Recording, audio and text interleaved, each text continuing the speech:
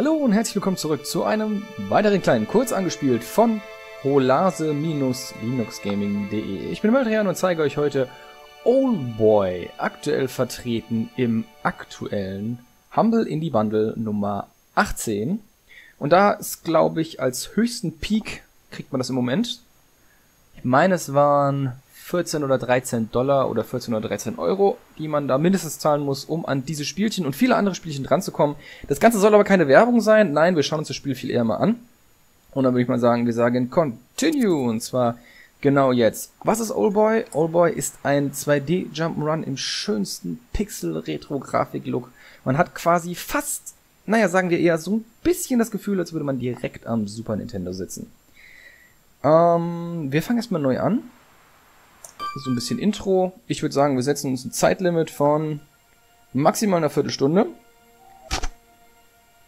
Und dann gucken wir mal, wie weit wir hier kommen.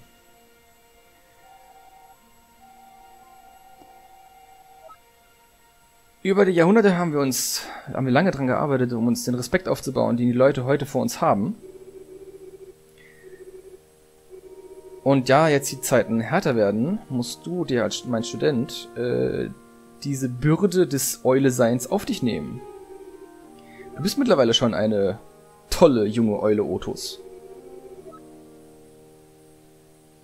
Und äh, bald wirst du da noch toller sein, quasi sinnbildmäßig übersetzt.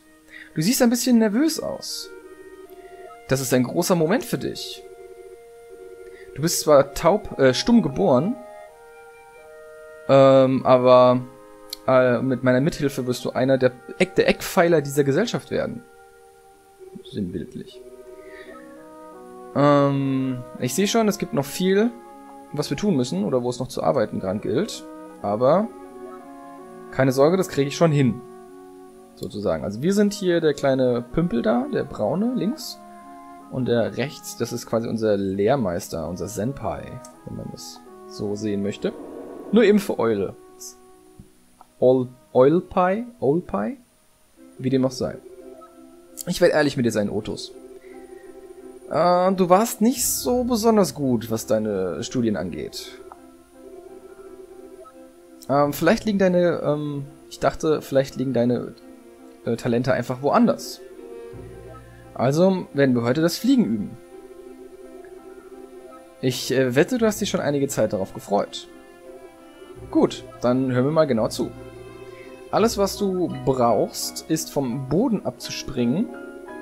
Und wenn du in der Mitte bist, ähm, machst du einfach, breitest du deinen Flügel aus und äh, schwingst sie. Der Eulenumhang, den ich dir gegeben habe, sollte sich um den Rest kümmern. So. Nun, Otos, zeig mir, was du kannst. Nun gut, du fliegst. Und jetzt beweg dich mal so ein bisschen. Siehst du die Plattform da oben? Diese Plattform? Fliege dort hoch und versuche dort zu landen. Dann zeige ich dir ein paar echte Tricks. So, also ich spiele mit äh, Xbox Controller 360, also Xbox 360 Controller und ich kann hier moven. Wenn ich zweimal schnell in eine, eine dieselbe Richtung mich bewege, dann dash ich so ein bisschen in die Richtung. Und äh, ja, wenn wir jetzt versuchen, da hochzukommen. Hier. Dann. Was ist, äh, dann, dann, dann. Verkacken wir es. Ja, so muss das sein. Und nein, soweit ich weiß, hätte man das nicht besser machen können an der Stelle. Das ist schon das zweite Mal, dass das nicht klappt. Nun, Otos, das war total beschissenes Fliegen. Sorry. Sorry, Otos. Ich muss sagen, ich bin echt so richtig enttäuscht von dir. Die meisten Studenten schaffen das auf Anhieb. Ich denke, morgen werden wir mit den normalen Studien fortfahren.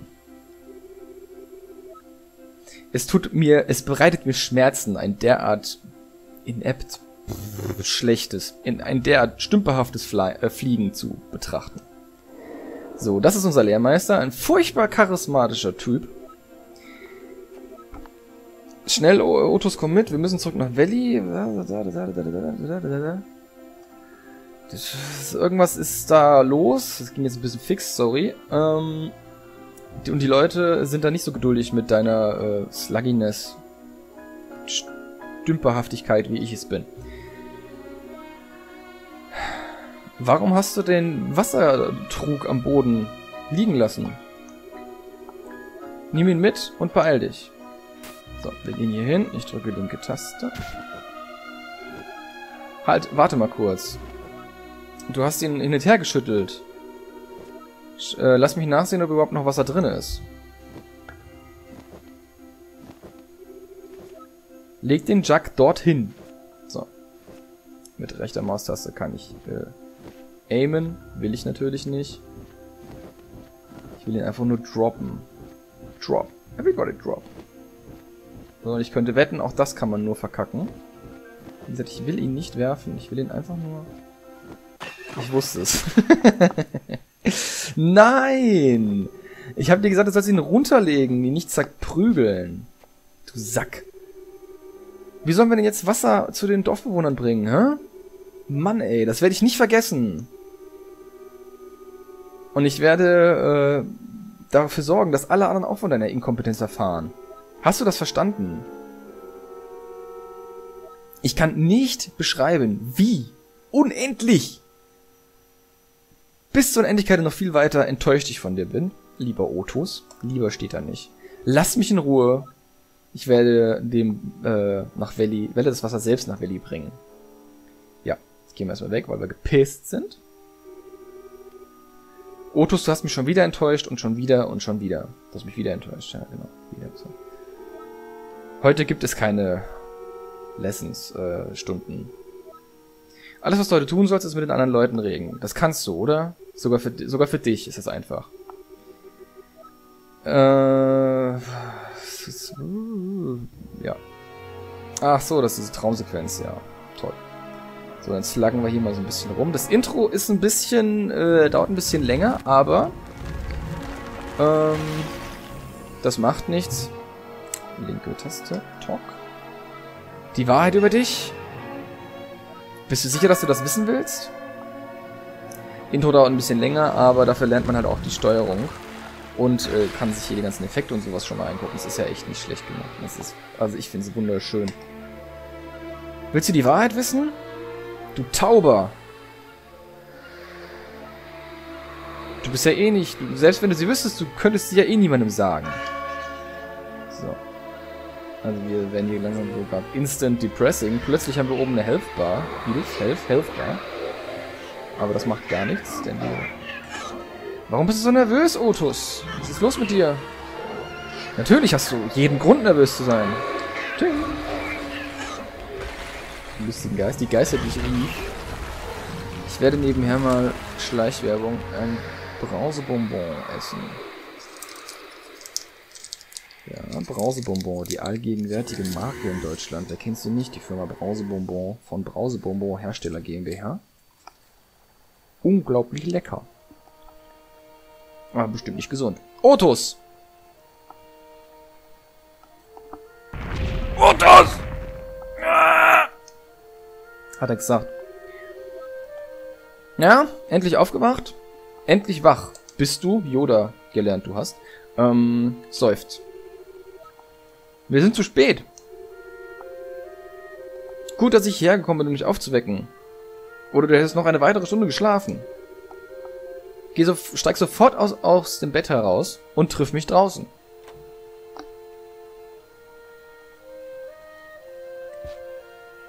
So. Also, das sind wir. Mittlerweile vollständig steuerbar. Wir legen uns erstmal aufs Maul. Dann nehmen wir das heiße Wasser und trinken es. Man sehe oben links, Energiebalken wird voller. So.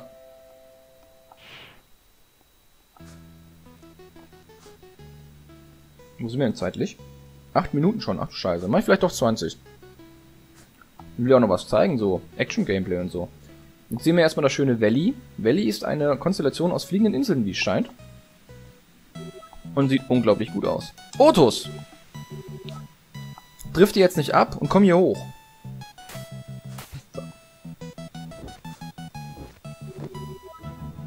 Opo, Otos, trödel nicht rum. Ich muss mit dir reden. Komm und lande neben mir. Jetzt. Ist ja gut. So, da bin ich. Wird auch Zeit, Otos. Wir werden heute Valley bewachen. Oder auf Valley aufpassen, was auch immer. Es wurden äh, Piraten gesehen in letzter Zeit. Du weißt, wie es ist. Sa wenn du irgendwas äh, komisches siehst, dann berichte es mir oder den Wachen. Hast du irgendwelche Fragen? Dann leg mal los, junge Vater. Wiedersehen. Er sieht ein bisschen peinlich aus mit den Flügeln. Ich wirke cooler. So. Also, jetzt geht's nämlich hier richtig los. Als Otos kann man eine ganze Menge tun. Zum Beispiel hier Sachen aus dem Boden ziehen. Aber auch die Botanik zerstören. Das ist natürlich nicht Spielinhalt, sondern einfach nur ein bisschen Spiel kennenlernen am Anfang. Und ein bisschen Nahrung essen. Also die ganzen Einblendungen, was man machen kann, ne, die kommen natürlich später nicht mehr. Das ist jetzt nur so zum Kennenlernen. Und äh, ja, das, was ich gerade mache, dieses Dashen, das ist mit Kreistaste. Das war jetzt noch nicht im Tutorial drin, aber ich äh, kann es halt nun mal, ne? So, hier ist ein schönes Schild. Nach oben geht es zum Valley Plaza und unten ist mein Haus. Schön, dass es auf dem Schild steht. Finde ich voll freundlich eigentlich. Kann sich uns keiner verlaufen. So, hier brauchen wir, glaube ich, nicht hin. Also unsere erste Aufgabe ist... Ach, habt ihr das gesehen? Da! Was ist das? Wo ist es hin? Ihr habt es auch gesehen, oder? Ein dunkler Schatten, der vor uns wegzuspringen scheint. Wo ist er hin? Wo ist er hin? Wo ist er hin? Dunkle Schatten. Aha, wir wissen nicht, was das ist. So, ich glaube, habe ich glaube ich alle Ringe. Ähm, durch, die, durch das Ring durchfliegen und durch das Aufsammeln von Münzen kriegt man, wie ihr gesehen habt, so ein bisschen Geld und da kann man sich später krasse Sachen mitkaufen bei so einer Bekloppten. Ohne es jetzt spoilern zu wollen. Aber ich denke mal, ihr Hey, Kumpel! Ihr wisst auch, dass wenn man Geld hat, dann kann man sich damit was kaufen. Ne? Das ist naheliegend, oder? Das war kein Spoiler, das war nur ein Hinweis. So, dieser lustige Genosse dort, mit dem unterhalte ich mich mal dort. Na, Alter, hast du heute Wache? Äh, hast du Bock, später was anzustellen, oder was? Otus und Gidi, das unaufhaltsame Team. Vielleicht sollten wir heute mal nach Advent gehen. Äh, sag mal Bescheid, wenn du fertig bist für den Tag heute, ne? Ich mach die Kanone hier noch fertig und dann bin ich bereit für alles. Alles klärchen?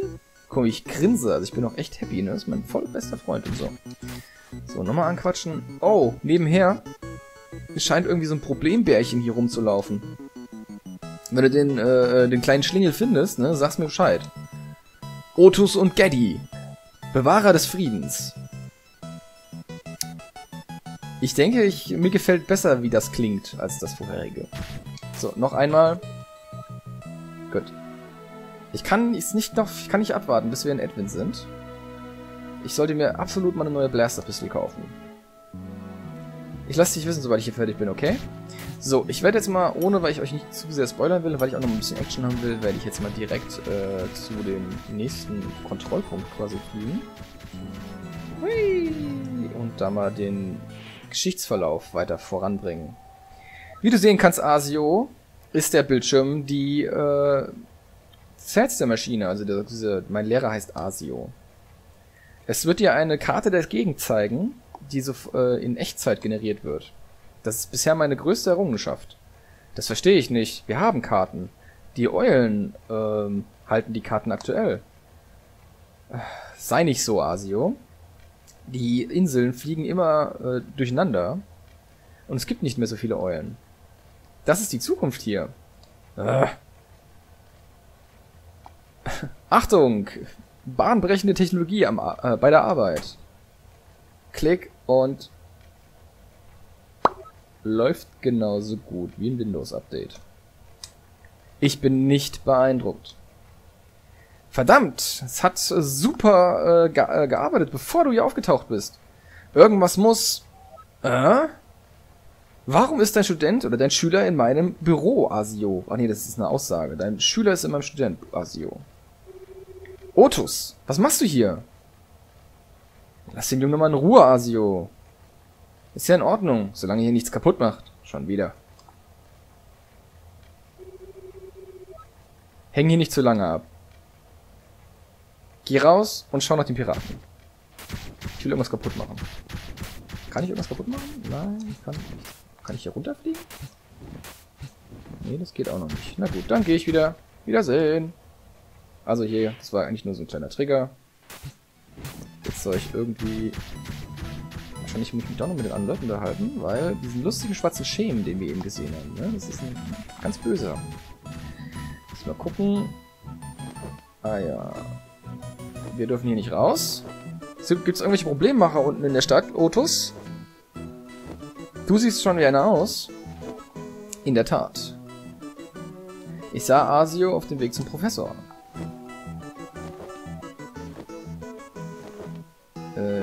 Äh, es uns Weiß ich nicht. Jetzt sei eine gute Eule und äh, kehre zu deinen Pflichten zurück. In der Tat. So, dann reden wir nochmal mit ihr hier. Ah, hier wollte ich gar nicht rein. Ich wollte mit ihr reden. Das ist so ein bisschen ein kleines Manko an dem Spiel, dass man oftmals Sachen mitnimmt, wenn man sich mit Leuten unterhalten will und dass man irgendwie irgendwo reingeht, wenn man sich mit Leuten unterhalten will und so weiter. Ihr versteht schon. Oh, hi Otos. Hast du heute Dienst? Ich habe gehört, es gibt irgendwie einen Problemmacher, die hier rumlaufen, so. Ich hoffe, es ist kein Pirat. Ich habe so viele Horrorstories über Piraten gehört. Es gibt sogar äh, Gerüchte über einen Humongous One.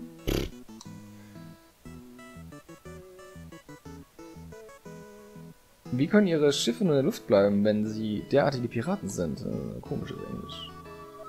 Aber wir sind hier sicher in Valley. Mhm. Nur, ähm, spiel nicht so viel herum. Ja, Autos? Also mach deine Pflicht quasi. Wir werden so lange, es wird so lange alles in Ordnung sein, solange du äh, konzentriert bleibst.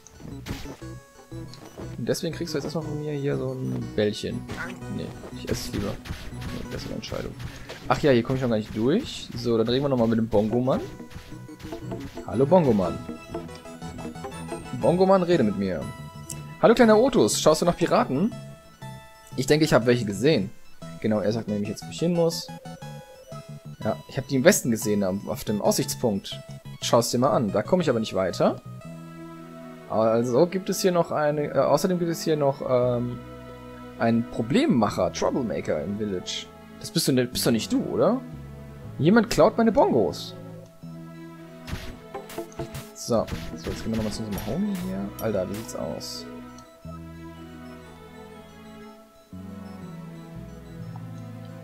Äh, okay, irgendwas habe ich noch nicht getriggert muss vielleicht doch nochmal einen Lookout Point hier rüber. Also man muss dabei sagen, das hätte ich vielleicht schon vorher so sagen können, ich hätte es gern demonstriert, aber Otus ist ziemlich wehrlos alleine. Aber dazu kommen wir gleich. Erstmal eine kleine Cutscene. In-Game Cutscene. Bam, Alter. Buh, hat er gesagt. Hahaha. Hey, du hast ihn voll erwischt, Fib. Ja, Bonacci. Schätze, er kann wohl doch fliegen. Mann, du bist so eine Erschreckungskatze, Otus? Keine Ahnung. Angsthase, Otus. Eulen müssen doch äh, hart im Nehmen und furchtlos sein. Schon 17 Minuten Ingame. Ah, je. Bist du dir sicher, dass du erlaubt sein solltest, äh, hier Wache zu schieben? Denkt nicht jeder, dass du ein Idiot bist? Ich meine, bist du überhaupt eine echte Eule? ihm Fragen zu stellen, ist völlig sinnlos, Phip. Er kann ja nicht mal antworten. Ja, er ist ja taub, äh, stumm. Warum sage ich immer taub? Stumm, blöder Otus. Hahaha, also das sind die Kompetenzbolzen hier vor Ort. Hey, what's wrong with you? So, jetzt lass mal bitte den Otus in Ruhe. Hat er so nicht gesagt, aber... Und äh, seht mal zu, dass er wieder hier rumpatrouilliert oder ich erzähle jetzt Tricks. Da ist unser Homie. Unser guter Homie. Kümmer dich nicht um sie, Otos. Die sind nur kindisch. Hey, warum komme ich nicht mit dir mit? Ich kann dir doch bei der Wache helfen. Wir zeigen's denen. Nimm mich einfach mit und los geht's. So, erstmal mein. Blink, blink, blink, blink. Bang! Oben links. Ich habe jetzt einen Sidekick. Das ist nämlich... Ich habe seinen Namen vergessen. Gaddy heißt er. Genau. Das ist mein bester Freund. Er trägt einen Blaster Und er ist in den meisten Kampfsituationen ziemlich effektiv. Aber nicht gegen soliden Stein oder Stahl. So, Gaddy, dann komm mal her, dann grab ich dich mal und dann kann ich jetzt hier mit Gaddy durch die Gegend fliegen. Ich kann auch das hier machen. Wow! der Gaddy, der kleine Kerl. Hahaha, sei doch mal vorsichtig, wo du mich absetzt, Otus. Das sind echte Freunde, die Selbstmordversuche nicht großartig. Ist schon okay. So. Und hier können wir mit ihm entweder so rumfliegen und in die Richtung schießen, in der wir fliegen, oder man benutzt den rechten Trigger oder eben die Maus und kann damit zielen. So ein bisschen, ist auch so ein bisschen Auto-Aiming, wenn man den Trigger benutzt am Gamepad, weil dann werden Gegner automatisch anvisiert. So, das dazu. Können wir mal ein bisschen, ein bisschen üben hier. Also ihr seht, das wird gerade, oder wo, da, das Schild wird immer anvisiert, wenn ich in die Richtung gehe. Aber ich habe eine bestimmte Reichweite. So, und weiter geht's. So. Jetzt würde ich trotzdem gerne mal kämpfen. Beziehungsweise irgendwann... Kommt noch eine Cutscene. Äh, äh, äh, äh, äh, äh. Was ist los, Solos? Bist du heute auf Piratenpatrouille? Oder wirst du wieder weglaufen, wenn du irgendwas siehst? Ha, ha, ha, schau dir diesen Typ an. Er kann nicht mal auf seinen Füßen bleiben. Ihr schon wieder. Ist eigentlich krass, dass die Eulen Angst vor Geddy haben. Hm? Bist du in Ordnung, Mann? Ja. Danke. Du bist einer von Stricks Studenten, oder? Schülern? Ich habe dich hier noch nie gesehen. Äh, ja. Bonacci und Phip sind meine Klassenkameraden. Wir sind großartige Kumpel. Dein Name ist Solus. Pass auf. Äh, sie hatten hier den, den Kumpel hier neben mir, den Otus, den hatten sie eben auch in der Mangel. Und wenn sie dir irgendwelche Probleme bereiten, ne, dann musst du uns das nur sagen und dann gibt's hier gleich einen Clan-War. Danke, Jungs. Das ist ein Rapper. Der stottert nicht, der rappt. Sie haben aber recht, ich bin wirklich ein ah, ah, ah, ah, ah, Angsthase. Und sag doch sowas nicht, Mann. Über dich selbst. Das geht nicht. Hör mal zu, warum bin ich... Oder um sinnbildlich zu übersetzen, Eck. Irgendjemand Hilfe. Mandoline. Da ist er, der Böse. Oh, sind ins Gesicht gesprungen. Wir fürchten uns. Oh nein, es ist der Troublemaker. Ich sage jetzt nur noch Troublemaker. Problemmacher klingt Quacke. Quicksolos, ruf Hilfe. Ich und Otus werden ihn verfolgen. Oh, äh, äh, äh, okay. Otus, nimm mich mit und dann los geht's. Alles klar, Baby. Und jetzt wird's nämlich, jetzt kommt die Action.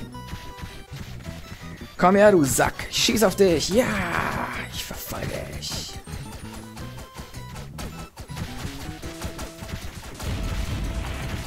Yeah, voll durchgesplatcht.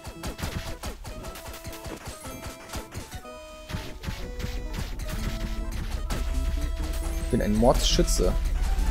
So, hier geht's jetzt rein. Und dann gucken wir mal, dass wir zumindest mal zwei, drei, vier, fünf Gegner kaputt kriegen. Und dann reicht das eigentlich auch schon zum Intro, würde ich sagen. Loco, äh, oh, Locus. Scheiße. Otus, schau, der Troublemaker. Los, wir fangen ihn! Zack. Er, er meint hier, er wäre voll aus Brain. So, so ein spinnenartiges Ding. Nehmen wir den Kollegen hier wieder mit. Und lassen den mal hier mit seinem geilen Blaster Amok laufen. Komm her, du! Zack, der erste Ingame-Gegner. Ein wunderschönes Tier. Was aber gegen unseren Blaster überhaupt keine Chance hat. Und da kann ich euch direkt mal was zeigen. Wir droppen ihn mal. Und da oben sind nämlich noch zwei. Und jetzt will ich euch mal zeigen, wie Otus drauf ist, ohne, die Kumpel, ohne seine Kumpels, die übrigens nichts tun, wenn sie irgendwo rumstehen. So, ich kann zwar die wegdonnern, dann sind die kurz gestunt, aber ich verspreche euch, ich krieg die nicht kaputt. Also ich brauche ihn, ich brauche meinen Sidekick, sonst bin ich komplett aufgeschmissen. Und wer das Spiel spielt, wird in viele Situationen geraten, in der es aus welchen Gründen auch immer notwendig oder vom Spiel vorgegeben ist, dass man gerade keinen Sidekick hat wo es quasi darum geht, irgendwie rumzuschleichen oder irgendwie anders unauffällig zu sein, in der Hoffnung, dass Gegner einen gar nicht erst sehen. Und man quasi dann in dem Moment einen Kampf aus dem Weg gehen kann. Er hat sich ja hinter der Wand versteckt. Wie der Boss, der er ist. Aber wir sind ja gar nicht so doof. wir können auch einfach das Türchen wieder aufmachen. Ratatatzong. Ich gucke auf die Uhr, es sind 24 Minuten. Zwei, drei Minuten gehen noch, auch wenn das dann wieder kein Kurz angespielt wird. Das ist eine neue Gegnerart. Hallo? Der uns jetzt gesehen hat und anfängt Steine nach uns zu schmeißen. Dieser Mistsack. Man könnte... Warum können wir nicht einfach Freunde sein? Ja? Was, was, ne? Ich meine, mal ganz im Ernst. Was hält uns davon ab? Ich kann auch übrigens ihn hier wegschmeißen, das ist auch noch ganz nett. So, warum auch immer, es geht. Oder was auch geht, ist das hier.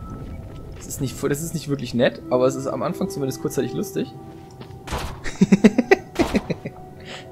Soweit ich, also bis, wie ich es bisher mitbekommen habe, macht das überhaupt nichts. Ich weiß nicht, vielleicht kriegt man irgendwann ein Achievement, wenn man ihn x-mal in die Wand geworfen hat oder so. Keine Ahnung. Super. Tut mir leid, Kumpel. Keine Absicht. Natürlich nicht. Da unten wäre jetzt Nervennahrung, falls wir Schaden genommen hätten. Pro wie ich bin, habe ich natürlich noch keinen Schaden genommen. So. Ganz unauffällig kommt da unten ein Stein raus, während da oben eine Barrikade ist, die er mit seinem Blaster nicht aufbekommt. Ja, wir erinnern uns, gegen Stein ist ein Blaster machtlos, also was bleibt uns übrig? Wir können natürlich auch erstmal probieren. Ich glaube, das mache ich erstmal. Ob ich nicht einfach ihn nehmen kann? Nein, scheinbar nicht. Okay, äh, komm her. Und dann Aim Hold, zack. Dann gibt das auch nach und er sucht weiter das Weite. Und macht hier einen auf Indiana Jones. Tschüssikowski. Okay, liebe Leute, viel mehr will ich euch an der Stelle eigentlich auch gar nicht zeigen oder, ich sag mal, spoilern, denn das Ganze ist ja ein Storytelling-Game, ein 2D Jump'n'Run Storytelling-Game. Ihr werdet, soweit, so viel kann ich noch sagen, noch weitere Charaktere äh, kennenlernen, ihr werdet verschiedene Orte bereisen und ähm, ja, ihr würdet ein, werdet eine interessante K Geschichte kennenlernen, die ich selbst noch gar nicht in Gänze kenne, weil ich das Spiel erst seit zwei Tagen besitze. Ähm, was es mit dem Eulenvolk auf sich hat, welche Mythen sich darum ranken, ob wirklich noch Piraten auftauchen und was es hier mit diesem Troublemaker auf sich hat, etc. Wie das alles und noch ein bisschen mehr wird euch erwarten, wenn ihr sagt, Oldboy ist ein Spiel, das ich gerne besitzen möchte. Und an der Stelle sage ich Tschüss mit diesem gar hoffnungsvollen Cliffhanger, der da heißt Otus. Niemand weiß, was passiert ist. Und freue mich, dass ihr eingeschaltet habt. Ich weiß übrigens nicht, wie das viele Spiel im Original alleine kostet. Ich meine, im Hinterkopf zu haben zwischen 20 und 30 Euro. Deswegen war ich da so ein bisschen hinterher, als es hieß im Humble Bundle, wäre das gerade. Vielleicht erreicht euch diese Information ja noch zeitlich in einem äh, entsprechenden Rahmen. Ähm, falls nicht, äh, ja, hättet ihr halt den Holase Newsfeed verfolgen müssen, denn dort haben wir auch über das Humble Bundle berichtet, wenn auch nur als Quick Use. Und ja, dann hättet ihr auch das Ding auf dem Schirm gehabt. Naja, wie dem auch sei. Besucht uns, schaut mal rein, hinterlasst mir einen Kommentar, macht irgendwas, was mit dem Internet zu tun hat und am besten auch mit uns. Und falls ihr auf das Ganze keine Lust habt, ist das auch in Ordnung. Ich wünsche euch weiterhin viel Spaß beim Spielen, natürlich unter Linux. Und man sieht, schreibt, spricht und spielt sich. Macht das gut, haut rein und tschüss.